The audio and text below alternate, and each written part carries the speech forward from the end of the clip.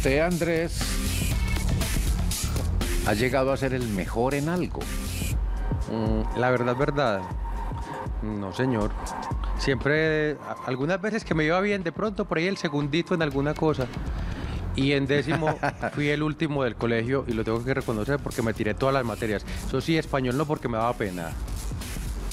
Entonces, reconocimiento. Yo, pues, casi siempre me la pasé en tres. ¿Cómo Yo- así? Yo no pasaba de tres. Era el de los de la mitad. Yo- O sea, ni los de acá ni los de allá. Yo maqueteaba mucho, pero la verdad es que cuando me proponía, Ajá. lograba alcanzar el primer puesto. A mí en bachillerato me pasó eso. Yo logré alcanzar el primer puesto varias veces, pero era porque me lo proponía. De resto era maqueteando, entonces yo pasaba con 3-1, 3-2, 3-3. Pero entonces el lo- que estaba en el cuadro de honor era el mejor, pues, o los mejores, porque generalmente éramos tres. Ah, pero si, estuvo en co- si- si tuvo mención de honor. Sí, yo sí tuve, eh, pero no, eso no quiere decir que yo se fuera el mejor. Yo me preguntaba eso y siempre me lo he preguntado. Usted, se, pu- usted Sí, puede hay, creer- hay- hay un mejor o hay unos mejores. Sí, Cada uno en, en de- en de- en determinados saberes. Porque ser el mejor es complicado, eso tiene sus compliques y bueno, eso es una discusión que tal vez no tenga sentido eh, para lo que nos proponemos hoy en Parihueliando con vos. Pero de todas maneras es muy, muy alentador que a uno le digan como institución, como maestro, como estudiante, como trabajador, qué sé yo, que es el mejor. Pero yo sí pregunto, ¿el mejor en relación con qué? ¿O con y el quién? mejor para quién.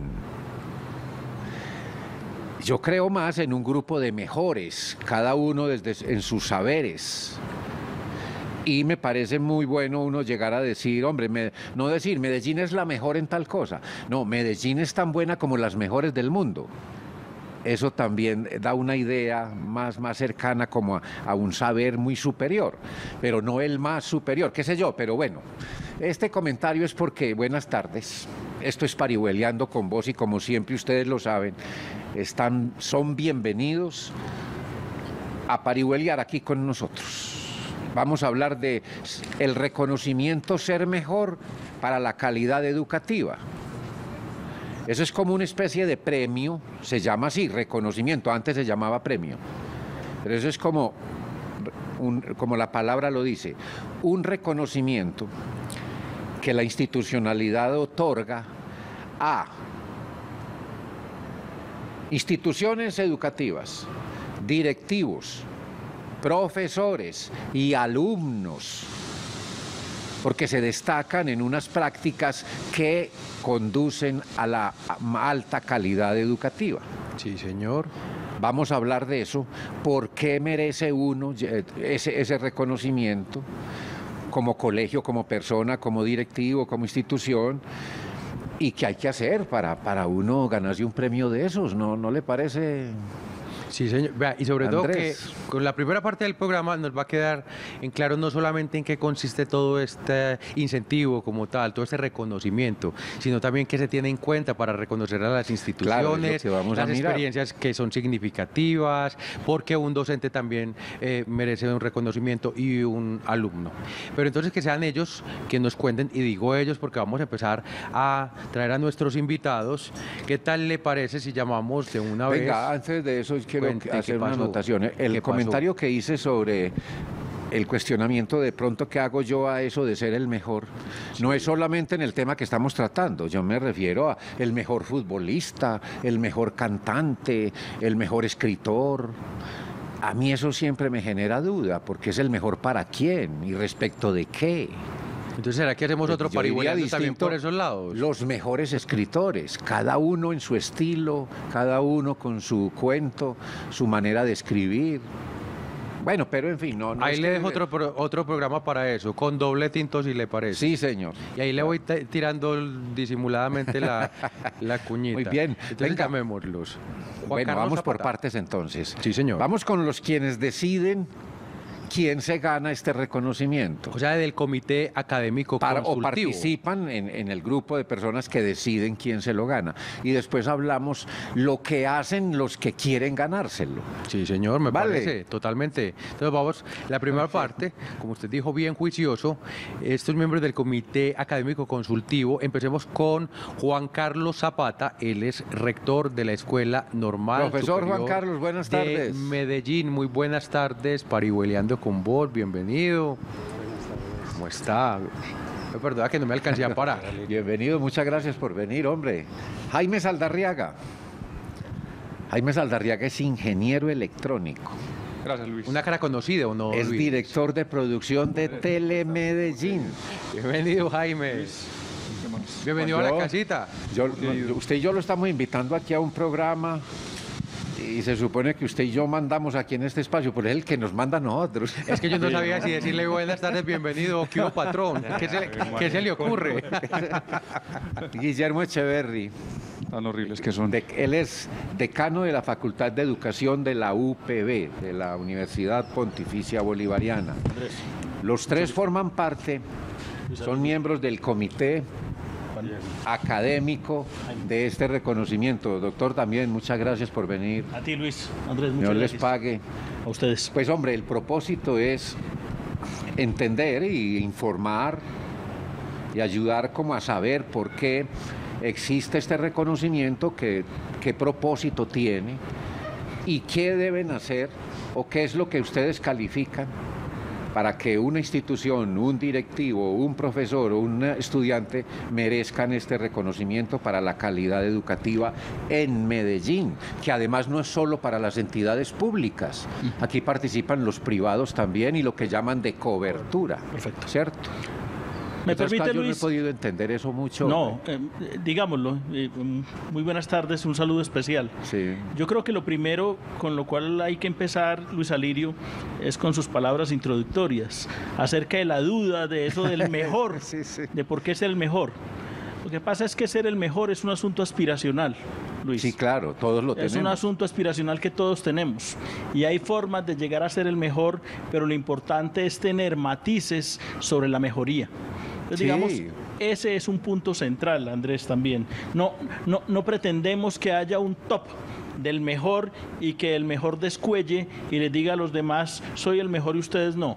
El espíritu del reconocimiento ser mejor es que haya una aspiración al mejoramiento permanente de la calidad educativa y en ese mejoramiento permanente siempre habrá unos que se destaquen en unos aspectos y otros en otros aspectos. Entonces ahí entramos ya en materia. Es decir, hay algunos que son fuertes en la enseñanza de los saberes español, matemática, etcétera. Hay otros que son fuertes en procesos de inclusión y de convivencia. Hay otros que son fuertes en un trabajo, por ejemplo, de proyección a la ciudad. Entonces la mejoría es una mejoría que trata de ser integral y no pretende que unos apabullen a otros porque esos unos son mejores que otros que no lo son. Lo que pretendemos es que haya un trabajo interinstitucional desde el Comité Académico Consultivo. Creo que eso es lo primero. Lo segundo es la precisión para, para, que, para compartir con nuestros colegas. Lo segundo es que hay tres tipos de instituciones. Oficiales, que son las del Estado, en este caso las del municipio. Aquellas que son privadas, que aunque son privadas también son públicas, porque rinden cuentas. Toda la educación es pública. Y las otras son por cobertura que son unas instituciones que son del Estado, pero las operan algunos privados, porque el Estado no tiene la posibilidad de hacerlo. Entonces, en ese sentido son oficiales, privadas y por cobertura, Luis. Sí, no, yo, yo me he preguntado siempre por ese nombre, es porque, pues hombre, todos los colegios hacen una cobertura. Es decir, toda la educación pretende hacer- cubrir a la población completa. Pero ya, ya le entiendo y muchas gracias. Y yo creo que de aquí ya podemos, sí vamos a entender muy bien cuál es el papel precisamente de todos estos señores, no solamente mediante una selección, sino que también se da una asesoría. Y señoras, Entonces- para ser incluyentes. No, no, vamos a ser incluyentes, pero yo me refiero a ustedes tres que están aquí Ah, sentaditos, por supuesto. Claro, don Guillermo. Vea, entonces empecemos a contar quiénes y quién define que sean ustedes miembros de ese comité académico consultivo. ¿Qué es eso? ¿Dónde se reúnen? ¿Ustedes qué tienen en cuenta para ser seleccionados? Pues el comité es un asunto que está desde el no acuerdo municipal y ahí participamos instituciones privadas, Verbigracia, Proantioquia, Lucelina Calderón de Proantioquia, participa Telemedellín, participa eh, el periódico El Mundo, participa el periódico El Colombiano, participa el señor rector de la Escuela Normal Superior de Medellín, Juan Carlos Zapata, que nos acompaña, participa la Universidad de Antioquia, un decano o un delegado del decano de la decana participa la Universidad Católica del Norte, que es escogida por de la Asociación Colombiana de Facultades de Educación. Participa la Universidad Pontificia Bolivariana en condición privada. Este decano o los anteriores o los que me sucedan. Es decir, Andrés, hay el Comité Académico Consultivo, es una constitución amplia, variopinta, diríamos por estos días, constituida por privados, públicos, instituciones, medios de comunicación que lo que hacemos es trabajar académicamente y tener unos referentes para decir esto es lo que podríamos pensar que es un elemento de mejoría, Luis Alirio. Claro. Entonces, por acuerdo del Consejo existe el reconocimiento, ser mejor para la calidad educativa. Y quienes definen quiénes son mejores para la calidad educativa son aquellos que tienen autoridad y están y, instituciones que ustedes representan. De eso se trata. Pues bueno, doctor Juan Carlos Zapata y Jaime, bueno, ¿y qué criterios se tienen en cuenta para... Buenas tardes, Alirio. También hay que tener en cuenta algo. Hay instituciones que están sumergidas en unos contextos complejos de ciudad, manejan una diversidad, una población bastante compleja motivo por el cual expresar ser mejor eh, comparativamente entre una institución que está en un contexto muy homogéneo comparado con una institución que está en un contexto bastante complejo, también puede ser. Ahí es donde se mira que no quiere decir de que estamos comparándolo uno a uno con los logros de esos indicadores, pero esa mirada de lo que es la diversidad puede que esa institución que está sumergida en ese espacio tan complejo esté haciendo un trabajo tan meritorio que aún así en sus pruebas externas no sea, digamos, superior a la aquella que se está en un contexto completamente homogéneo, más armónico, pero es ahí donde hay que mirar. Entonces ese trabajo que está haciendo de proyección de eh, actividades extracurriculares, diseño de estrategias metodológicas para esa población divergente, esa eh, viabilidad y esa construcción de estrategias que permitan el tránsito de esta población divergente grado a grado y ese tránsito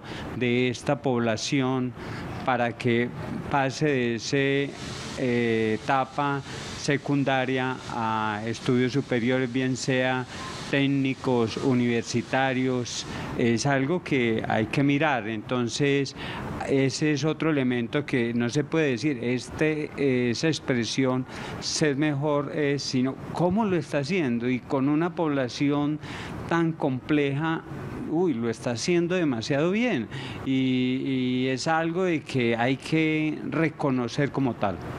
Jaime, pero eh, aquí también para dejarle esa claridad a los televidentes y a don Luis Alirio y a mí, porque de verdad que nos siguen bien, bien curiosos con, con eso que nos están contando. Hablemos de un trabajo de campo, esa exploración que debe realizar este comité, porque eh, a ustedes seguramente les llegan muchas historias, pero también hay que tener unos puntos de referencia eh, a partir de lo que pasa en el territorio, en las diferentes comunas. Las situaciones son diferentes también y esto, esos elementos lo están teniendo en cuenta. ¿Cómo recogen ustedes todo, no solamente documentación, sino las situaciones, las experiencias significativas de docentes, de los mismos estudiantes, de la gestión administrativa. ¿Cómo les llega a ustedes como para tener los elementos? No, es que miremos que en este territorio pues, esta, esta situación, estos definitivamente se destacan y hay que hacer reconocimiento precisamente con ellos. Sí, Andrés, gracias. Existe una, una herramienta, lo que llama una rúbrica, que es denominada como el, el IMCE-A, el IMC ampliado ¿cierto? Esa herramienta conceptúa y evalúa todos esos factores que, que hablaba ahora Juan Carlos en las instituciones. Nosotros conceptuamos acerca de esa rúbrica, qué componentes tiene, qué, cómo, cómo, cómo se ponderan los diferentes elementos de la rúbrica y nosotros como comité, aparte de eso, eh, trabajamos eh, puntualmente en el eh, reconocimiento de de Gestión Ejemplar, de donde se escogieron las 10 mejores instituciones de la ciudad y fuimos a visitarlas. Y en cada una de ellas estuvimos toda una mañana, nos, repartimos todos los miembros del comité y evaluamos las, evaluamos no. Lo primero que le dijimos a, la- a las instituciones cuando fuimos que nosotros no, no somos jueces, ¿cierto? Las instituciones ya son eh, ganadoras de por sí. Lo que fuimos a ver es que... A que- validar. a validar, y más que a validar, es a, a- a animarlos a, a- a que nos cuenten qué las hace tan especiales, para, como para compartir esa- esas experiencias con el resto de instituciones de la, de, la, de la comunidad de acá de la ciudad. O sea que ustedes no esperan que les llegue información, sino que ustedes van allá. Vamos allá y la miramos. Nos llega una información previa de la, de la institución, eh, número de docentes, número de alumnos, eh, cuántos ganaron, cuántos perdieron en los últimos tres años, cómo les fue en las pruebas eh, en el ICFES, eh, ca- pues, en diferentes pruebas. Y vamos allá y con una, con una guía por el, eh, generada por el IMSS ampliado, vemos pues como las diferentes... Vamos a, vamos a una pausa, ¿no? Eh, don Andrés. Bueno, vamos entonces a hacer esos mensajes institucionales, don Luis Alirio, y para ahorita entonces ahí le hago ceñitas, mire lo que no al lado. me sí. ruegue tanto que un día se me va a olvidar de verdad. No, no, no, pero entonces pongámonos serios pues con el cafecito, que eso a Pablo Seco es muy duro, don Luis Alirio. Vamos a salir un minutico a mensajes institucionales y ya seguimos aquí en Parihueleando con vos.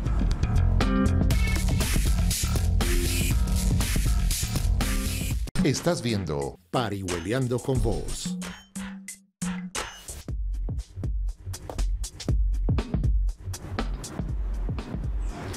Esto es Parihueliando con vos de Telemedellín y estamos esta tarde conversando sobre el reconocimiento ser mejor para la calidad educativa, reconocimiento de la alcaldía de Medellín, por ahora con el rector de la Escuela Normal Superior de Medellín, Juan Carlos Zapata, el director de producción de Telemedellín, Jaime Saldarriaga, y el decano de la Facultad de Educación de la Universidad Pontificia Bolivariana, Guillermo Echeverry, quienes forman parte del miembro del comité académico para determinar este reconocimiento. ¿Desean tinto? ¿Provoca tintico? doctor? Digan que sí, a ver si a mí me toca, ¿quiere por tinto? favor, porque... Por favor. Todos quieren tinto. Mientras yo sirvo el tinto, mi compañero Andrés va a empezar a preguntar. Muy formal, O muy a de la continuar preguntando. Sí, señor. Gracias, don Luis. Bueno, retomemos con, con el decano de la Facultad de Educación de la Universidad Pontificia Bolivariana, Guillermo Echeverry. Ahorita estuvimos hablando de todo ese proceso que ustedes realizan, el trabajo de campo también, esa intervención positiva que se da visitando a estas instituciones educativas. Pero de este ejercicio que queda, ¿cómo se puede replicar? Porque uno de los objetivos es que no solamente sean 10 instituciones reconocidas, la idea es que todas nuestras instituciones educativas sean las mejores en todo, en algún, que sus jóvenes se destaquen en algo, que sean de verdad eh, personas que disfrutan de la calidad de la educación, que sean seres humanos integrales, eh, bien formados en estas instituciones. Entonces, ¿cómo no se queda solamente en estas 10, sino cómo va a servir esta experiencia para el presente y el futuro de nuestra educación? Sí, entonces voy a utilizar el programa inclusive para decir que esta es una estrategia que nos permite replicar y hacer conocer al común, Andrés, de todas las instituciones lo que hacemos. Eso es lo primero. Eh, Teleantioquia, el mundo, el colombiano nos acompañan porque los medios de comunicación tienen que darle un estatus particular a la educación de los maestros. Ese es un punto central que esta ciudad, a diferencia de otras ciudades, hace muy específicamente. Y eso marca una diferencia de los mejores para, para- para lo que estaba preguntando Luis Alirio. Segundo, porque las instituciones que son reconocidas se convierten, Andrés, en una plataforma que impulsa a las otras instituciones. Se vuelve un elemento aspiracional ¿En qué medida eso? en ¿Cómo? esta medida que voy a decir, en que les pedimos a quienes sean finalmente reconocidos que trabajen con las demás instituciones, Luis. Por eso el asunto que decía no es yo descuello y ustedes están allá. El que descuella, ¿qué hace para que los demás descuellen? Para que los demás estén en ese punto. Entonces ahí hay un elemento de replicabilidad, un trabajo interinstitucional. Y tres, Para un decano de una escuela de educación y pedagogía como este, también para la Antioquia, la Católica y todas las demás facultades de educación, ¿qué es lo importante? Que la nueva formación de maestros utiliza este conocimiento como un conocimiento que necesitan nuestros estudiantes. Entonces ahí eh, podemos hablar de un currículo ampliado no es el currículo que dice el Estado que hay que enseñar para formar maestros, sino que ya hoy los estudiantes saben qué implica una institución, cuál es la dinámica. Entonces, este decano con el comité académico se va para las instituciones y tiene un conocimiento no solamente de los libros, de lo teórico, sino un conocimiento de primera mano de qué pasa en 12 de octubre, Juan María Céspedes, Villa del Socorro, Nuestra Señora del Carmelo, etcétera. Eso es un conocimiento de primera mano que entonces me permite, por ejemplo, en este caso, perdón por la referencia personal, tomar decisiones en relación con la formación de maestros, que es un impacto de largo plazo. Es decir, hay tres impactos fundamentales. Trabajar con los medios. Uno, para hacer un trabajo que los medios necesitan. Es que los medios educan. Los medios son educadores de acuerdo con la Constitución. Hay un punto fundamental. Dos, trabajar interinstitucionalmente para fortalecer. entonces, permítame, yo, yo lo voy a interrumpir y me van a disculpar ustedes usted también, para que nos devolvamos un poquito al trabajo con los medios. Entonces no se trata solamente de, de, la divulgación como tal, sino de hacer procesos de formación también, pero ¿en qué medida? ¿Cómo podemos hacerlo nosotros? Aportemos, eh, desglosemos eso. A eso lo podemos desglosar en tres asuntos, Andrés. Primero, Jaime Saldarriaga pertenece al Comité Académico Consultivo como Luz María Tobón del Mundo o Clara Tamayo del Colombiano.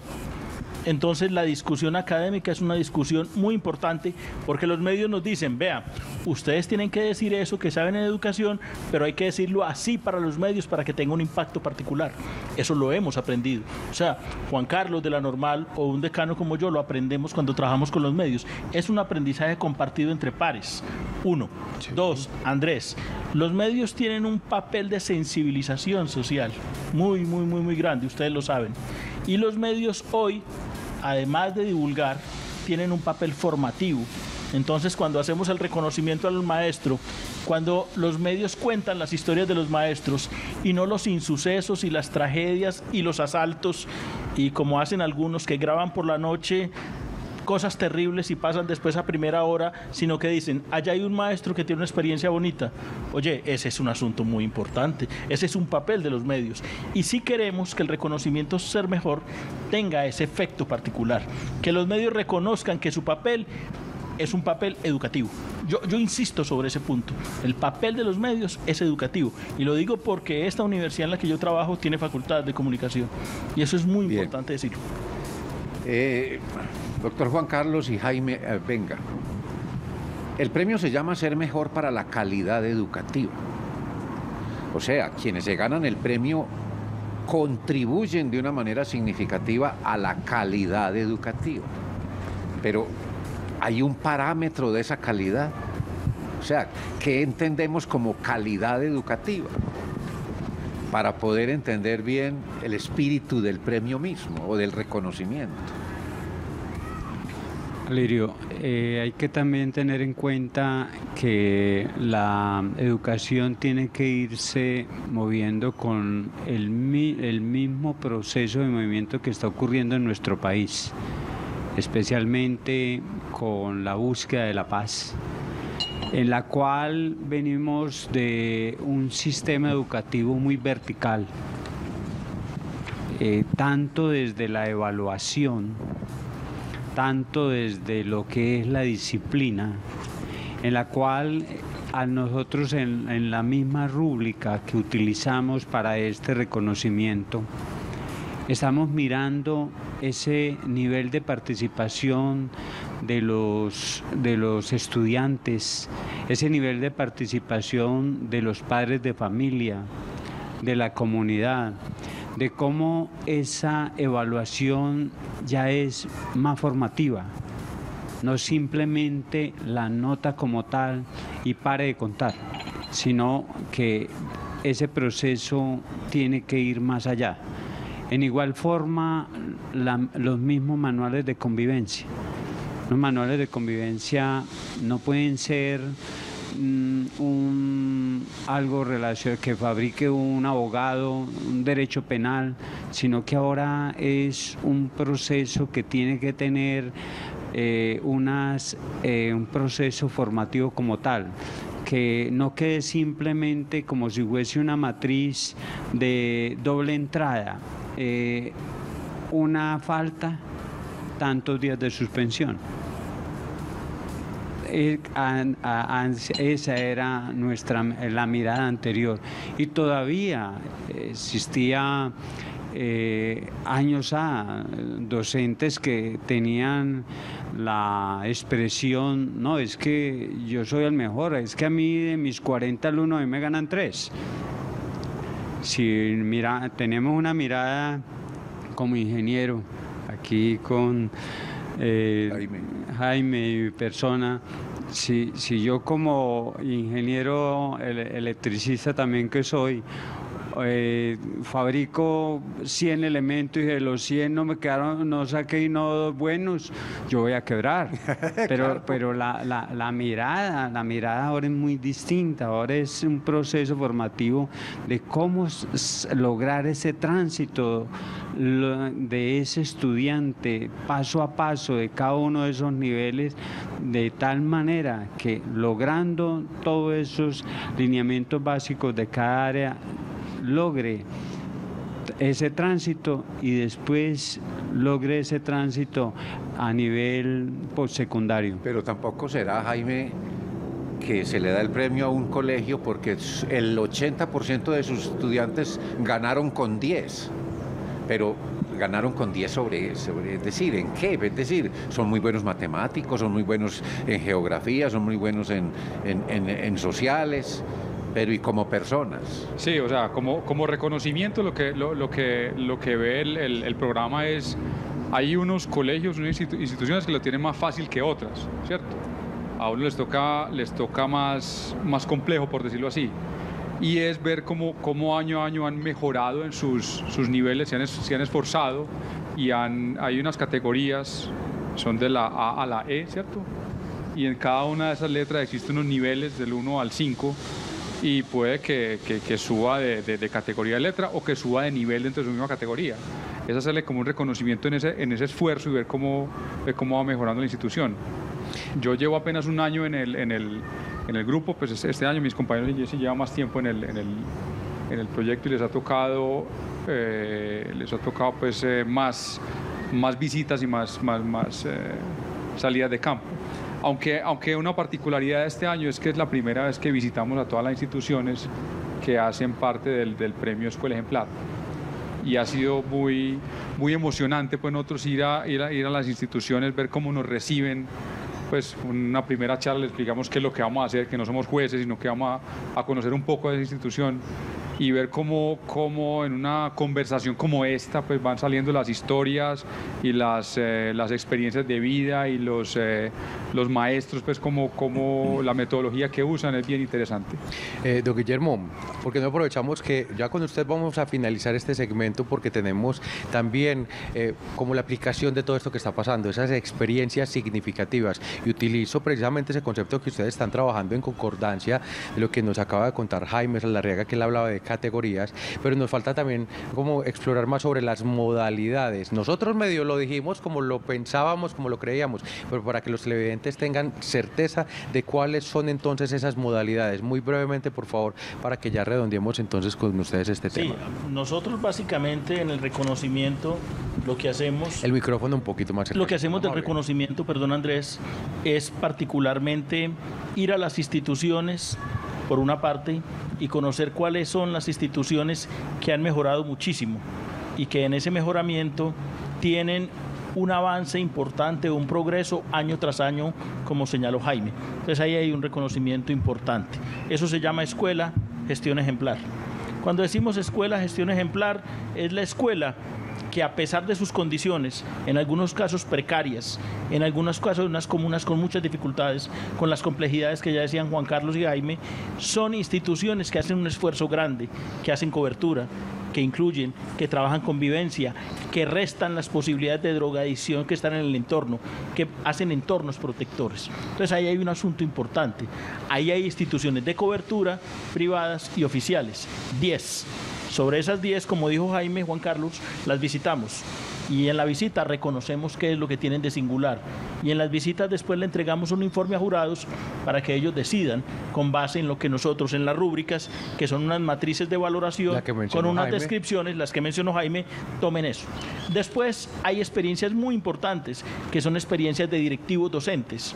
¿Por qué? Porque los directivos docentes, esto había estado un poco opacado. Un directivo docente no solamente es un administrador, un directivo docente sobre todo es un líder en la institución que orienta pedagógicamente, educativamente la institución, no es un gerente, es un orientador de la institución. Y eso ahí tiene unos reconocimientos importantes. Muchas instituciones mejoran significativamente porque su rectora, porque los coordinadores hacen un trabajo. Tres, hay un reconocimiento a los docentes.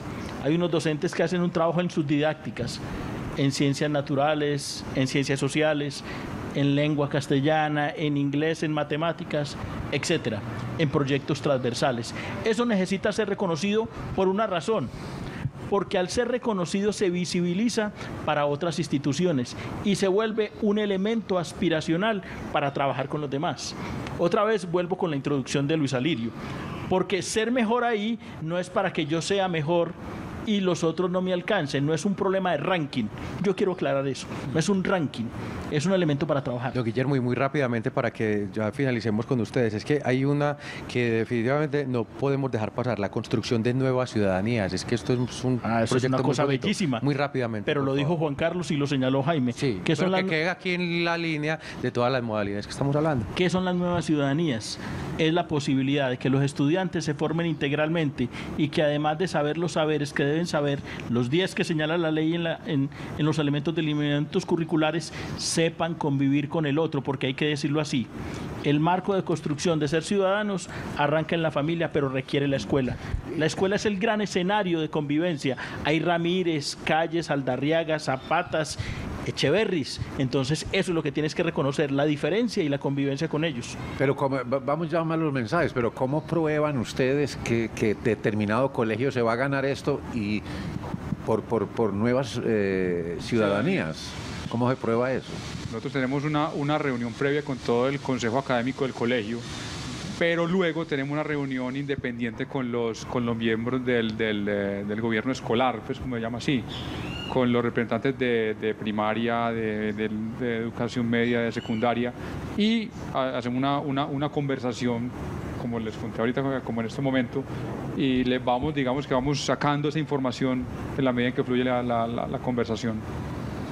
Hombre, queda uno con ganas de, de más cosas, pero bueno, el tiempo es poquito y porque es también, bendito. y también está ah, complementando reunión con egresados.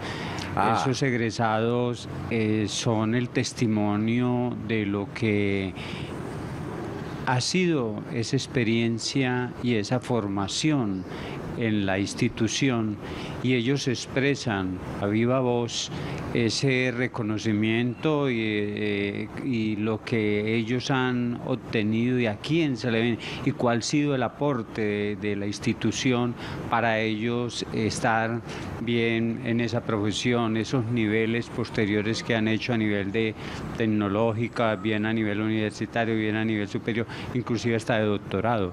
Y hay experiencias también muy específicas aquí en nuestra ciudad de Medellín, muy específicas.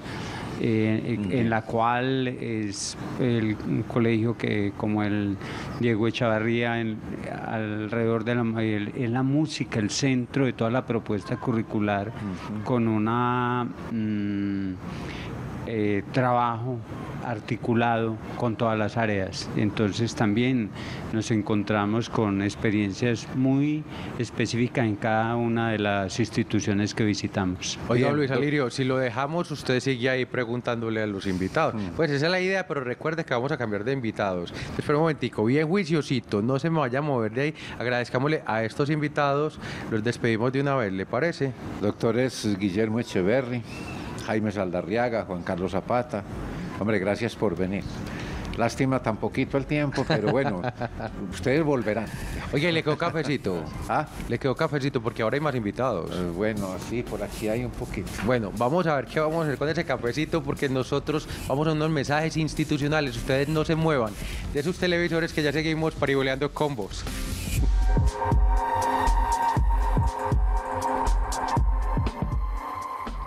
Estás viendo Parihueliando con Vos.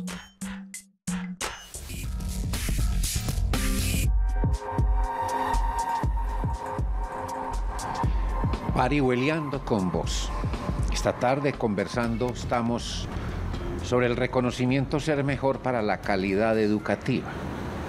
Estábamos conversando, Andrés, con quienes deciden quiénes merecen este reconocimiento. Ahora tenemos dos representantes de quienes trabajan para merecer el reconocimiento. Sí, ¿Y señor. qué es lo que hacen? ¿Y por dónde se enrutan? Y me gustó eso de las experiencias significativas. Sí, Experiencias significativas que nos van a replicar, que nos van a contar más bien aquí para que se puedan replicar en otras partes del territorio de nuestra ciudad. Entonces, le damos la bienvenida, empecemos con la dama, a Ángela María Chaverra, ella es rectora de la institución educativa 12 de octubre. Ángela, muy buenas tardes, Pariboleando con vos, bienvenida. Buenas tardes.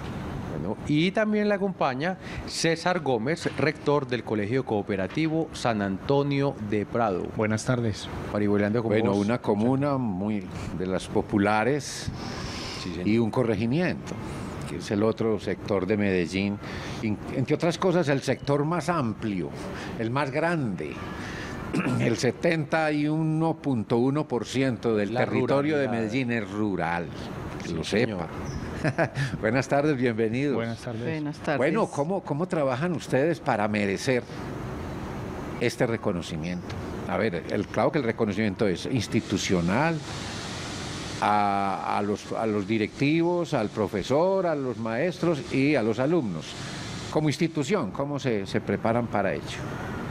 Eh, Luis Alirio, pues eh, eh, el nuestro en la institución educativa 12 de octubre es institucional. Eh, la categoría de escuela gestión ejemplar. Escuela Gestión Ejemplar. Sí, es un reconocimiento eh, según los resultados de promoción, deserción, eh, cuando se bajan los niveles de deserción, cuando hay mucha promoción, tenemos unas metas institucionales. Paréntesis, desean tintico. Ah, sí, Claro, por claro. supuesto. Oiga, y esa cara que ponemos nosotros cuando mencionamos la palabra tinto, don Luis ofreciendo y yo por aquí, voy a repetir. Qué pena la interrupción, doña en esa parte de, de- del desarrollo del proyecto educativo institucional, de la parte curricular, las pruebas externas. Todos esos resultados confluyen en un eh, buen nivel de que nos distinguen o nos hacen ver nos hacen visibles en la ciudad. Bueno, y en el caso del, co- eh, del Colegio Cooperativo San Antonio de Prado, don César, ¿cuáles son esas condiciones? Eso, en, en el, en el contexto de ustedes, ¿qué es lo que hace que sean reconocidos? ¿También es algo, eh, un proceso puntual o cumplen en este caso con varios de esos parámetros? O, es, o si es también institucional la aspiración. Sí, es también institucional en la misma categoría de escuela gestión ejemplar. Eh, pienso que nuestro colegio el trabajo en equipo de todos los docentes y directivos en bien de la comunidad es fundamental en que nuestros estudiantes estén contentos en el colegio. O sea, eso lo pienso que es lo más importante, que los padres de familia eh, en el colegio busquen una alternativa para, para sus hijos, ¿cierto?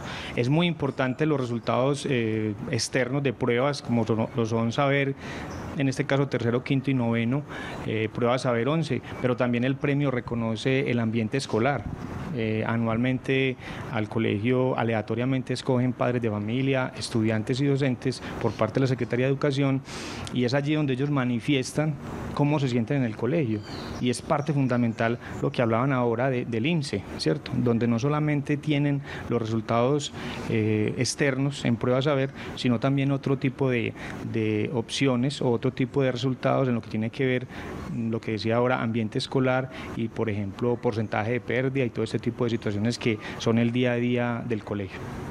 Don Luis, pero yo quisiera proponerles algo, no solamente nos dediquemos en este momento al reconocimiento como tal, sino que sería bien interesante, y yo sé que usted lo, puede, lo apoya porque son sus intereses también, el que nos ayuden a entender un poquito cuáles son las realidades de los sectores que ustedes representan, porque estamos hablando de una comuna y de un corregimiento que obviamente cada cual tendrá sus particularidades, pero en el, en el de ustedes, ¿qué, qué es lo que viven estos jóvenes, estos docentes, estas directivas, precisamente cuáles son esas realidades a las que se enfrentan y cómo hacen ustedes para sobreponerse a todo lo que los está afectando actualmente. Sí, eh, trabajamos con ciertas situaciones externas pero la institución educativa 12 de octubre se une con sus directivas, sus docentes, su equipo de líderes, su comunidad y hace frente a todas esas arremetidas de situaciones sociales que llegan a la puerta, pero que tampoco las dejamos entrar ni las dejamos que las situaciones internas de, convivencia de los muchachos afecten o se busquen situaciones afuera. Entonces se hace que la institución tenga un buen ambiente, una buena convivencia se trabajan los proyectos sociales obligatorios, se hace que la escuela sea el mejor ambiente para ellos, porque vienen de muchas partes de la misma Comuna 6 y llegan a la institución en busca de un buen ambiente escolar. ¿Y el caso? En el caso del colegio cooperativo, pues no es ajeno también a las situaciones que se vive en la institución educativa en el 12 de octubre, ¿cierto? Eh, nosotros buscamos que nuestros estudiantes eh, les ofrecemos diferentes tipos de alternativas, no solamente de lo académico, sino también desde, desde lo lúdico, ¿sí? En una jornada complementaria que los estudiantes permanezcan en el colegio extracurricularmente, donde les ofrecemos diferentes alternativas, no solamente, diferentes alternativas, no solamente desde lo académico, sino desde lo cultural, desde la música, desde el arte, desde las mismas TIC, que el colegio es bastante fuerte en este tema, ¿sí? Otro de los aspectos que en nuestro colegio buscamos es que haya una comunicación permanente, eh, padre, familia con la institución, estudiante con los docentes, que nuestros estudiantes y padres de familia se sientan escuchados. Eh, ofrecemos alternativas mediante las TIC, por ejemplo, de que un padre familia, por ejemplo, esté siempre informado sobre las condiciones que se ven el día a día del padre familia, porque entendemos muchas veces situaciones particulares de nuestros padres que por el trabajo por sus quehaceres no podrán estar en el colegio, pero virtualmente también les ofrecemos alternativa de que a diario ellos estén informados de lo que pasa en el colegio. Entonces, otra de las opciones que vemos para que ellos realmente eh, sientan un acompañamiento de nuestros estudiantes. Como el reconocimiento apunta a que, a que es un aporte eh, significativo a la calidad de la educación digamos, el colegio, los colegios de ustedes le dicen a los que califican, mire, es que el aporte nuestro a la calidad está en esto. Específicamente está en esto o en estas dos cosas o en estas tres.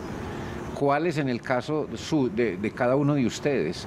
Es ese aporte a la calidad pensando en que si ustedes se ganan el premio van a ser modelo de los otros colegios de Medellín. En la institución educativa de octubre son tres aspectos, convivencia sobre todo, el mejor ambiente escolar, la alegría en la escuela de cada de niños, niñas y adolescentes, la parte del nivel académico, de que el 95% de los estudiantes aprueben el año escolar, alcancen las competencias. Y la otra parte es toda la la proyección comunitaria, la comunicación con la comunidad educativa, Desarrollamos en la institución también líneas del proyecto de desarrollo de la Comuna 6. Yo le voy a pedir el favor, don Luis, que eh, todavía no, no continuemos con, con César para que lo pueda desglosar muy bien, porque aquí nos deja una inquietud bien grande. Uno cómo hace eh, para mostrar resultados en cuanto a convivencia, cómo se mide eh, la convivencia escolar. Entonces, desglosemos eso un poquito antes de que pasemos con don César, ¿le parece? ¿Qué indicadores tienen ustedes? Pero antes de continuar, vamos a unos mensajes. Entonces los vamos a dejar aquí en suspenso con los dos. Exacto, sí, señor. Bueno, señor, entonces ya seguimos, pues, en los mensajes institucionales. Ustedes no se muevan de esos televisores, que ya seguimos pariboleando con vos.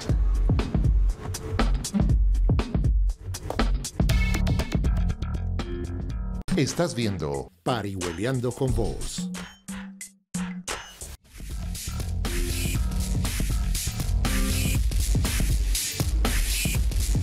Parihueliando con vos esta tarde, hablando sobre el reconocimiento, ser mejor para la calidad educativa. Usted tenía la palabra, don Andrés. Eh, muchas gracias, don Luis. Sí, efectivamente, usted ahorita en el segmento anterior le estaba preguntando a nuestros invitados eh, precisamente cuáles son esos elementos, qué le pueden decir ellos cuando llega a ese comité académico consultivo a decir, sí, es que nosotros merecemos este reconocimiento por esto, por esto Por y por convivencia, esto. y usted sí, preguntó, señor. ¿y cómo se mide? específicamente, doña Ángela nos dijo, en nuestra institución, en el 12 de octubre, por convivencia, ¿qué indicador tiene uno para decirle, sí, mire, es que la convivencia, ¿cómo lo demuestra uno? ¿Cómo puede mostrar esa gestión y también los resultados en términos de indicadores precisamente para que realmente sean reconocidos? Cuando una institución educativa sabe resolver los conflictos internos y externos entre todos los niños, niñas y jóvenes, sabe y forma en mediación escolar, en diálogo, en toda la, la- la convivencia en su parte integral.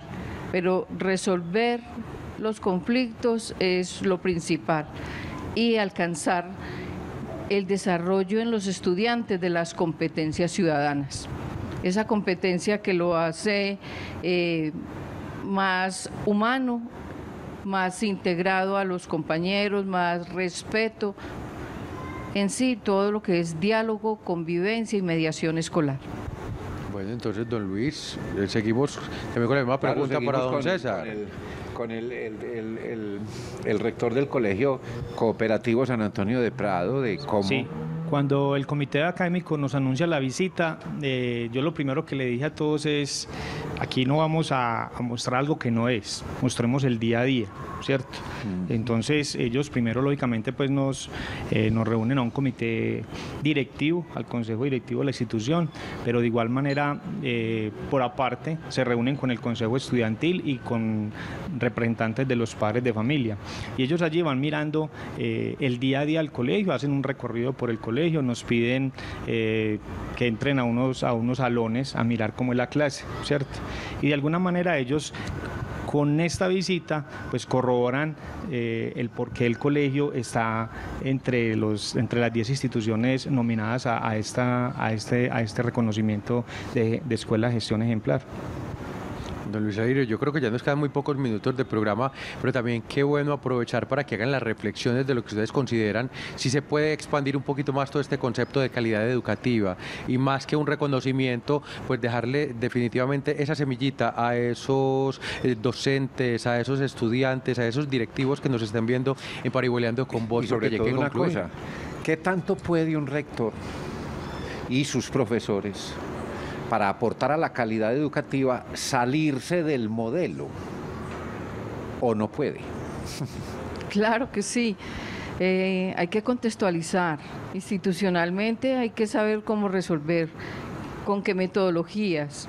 Eh, hay una autonomía escolar, es- que es eh, saber hacer las cosas, cómo las necesitamos, según nuestras necesidades.